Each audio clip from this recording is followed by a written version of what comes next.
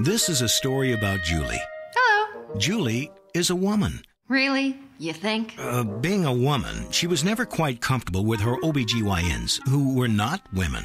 Right, it was that whole wrong chromosome thing. Then Julie learned about Capital Region Medical Center, a place that listens to patients and responds with advanced care, including Jefferson City's only all female OBGYN group. Just what Julie wanted. Capital Region Medical Center, brought to you by you.